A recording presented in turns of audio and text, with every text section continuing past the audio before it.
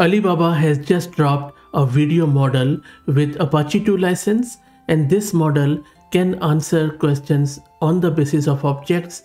You can prompt point prompts to any object in a timestamp. These models can understand videos and segment objects, answer questions about them throughout the video at the same time, whereas other models can only answer what is happening in the video. This is Fahd Mirza and I welcome you to the channel.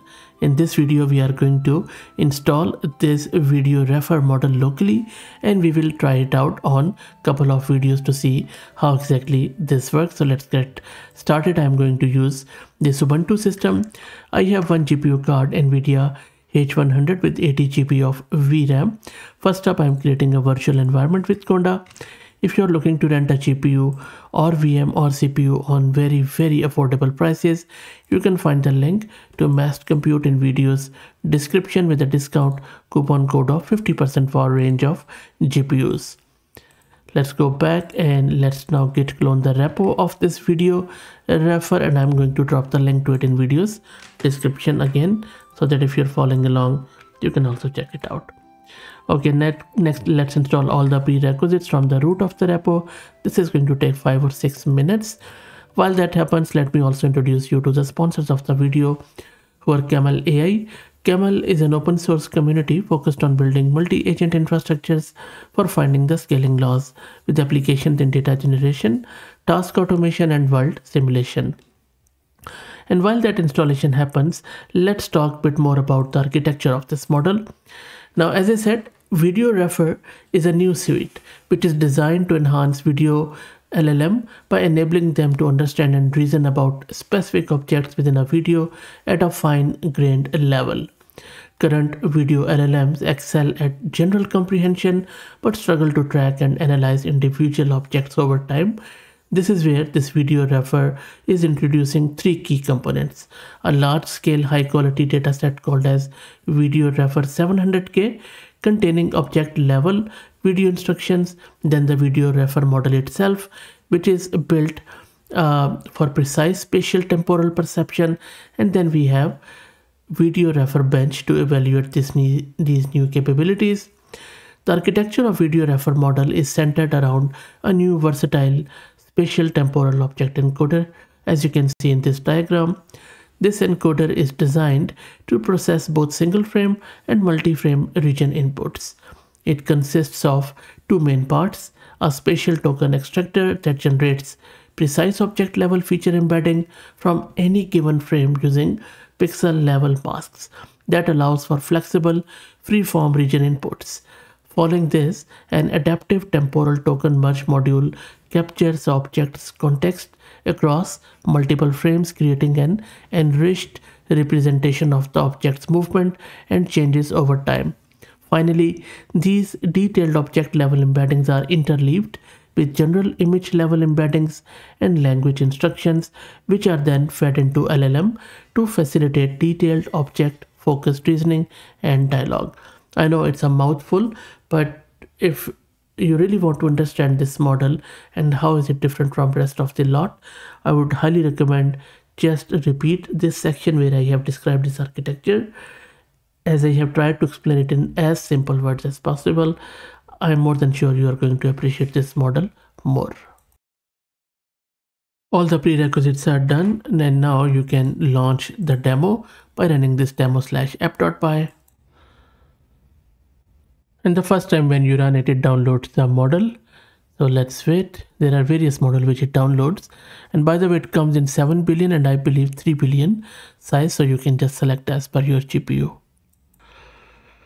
Okay, so the models are now downloaded. Let's access this local Gradio demo at localhost at port 7860. And there you go. Our VideoRefer model is now running. Let me make it a bit smaller so that we would see what is happening. So you see there are two modes. There is an image mode. There is a video mode where you can upload your own video. You can also just caption it or segment it or you can ask the questions as we go. And you can even annotate the first image if you like. Okay, so let's try it out. And now this is how you use this model. You select a video from just here and then it will automatically populate this frame and this is where you select the object you want to segment or want to interact with. And then it simply gives you the answer here. As you can see I just selected this dog and it is saying a small dog is sitting on a bed looking at the camera and all that stuff. And because this is my Ubuntu system I am accessing it through VNC so it is not showing the video here but I can show you the video here. This is a video which I used. This is an example from their own system okay so and you see that uh, how quickly it was able to do so. Let me select another one and don't I just uh, cancelled it. That is why I just reload it. Now I'm going to select video again.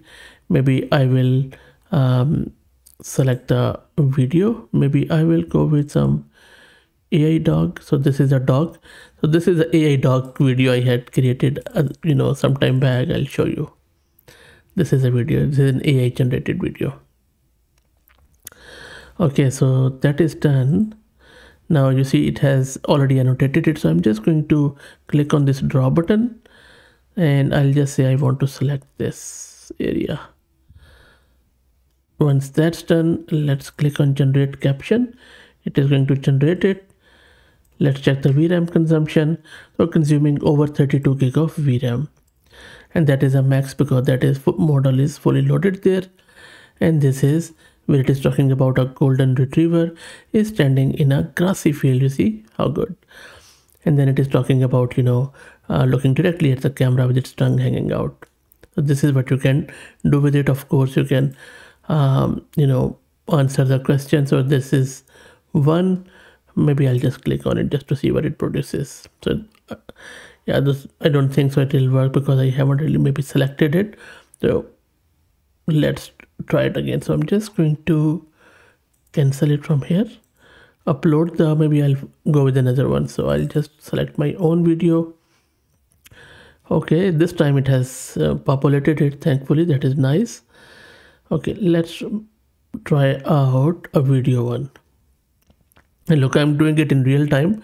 And these demos uh, are not really because i'm using their code too so these are not fully tested so this is one issue working on building it. So please don't thrash me in the comments. And if you do what I can do? Nothing. So anyway so I'm just going to select myself and this monitor behind the scene.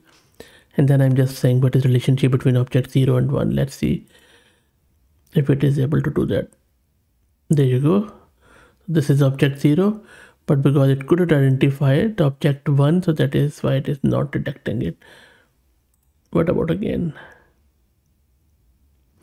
This is where i think they need to maybe fix uh, no it is actually it's object 0 is a wall behind object who is a man sitting in front of it. So this is bit sketchy where it is unable to do the relationship thing.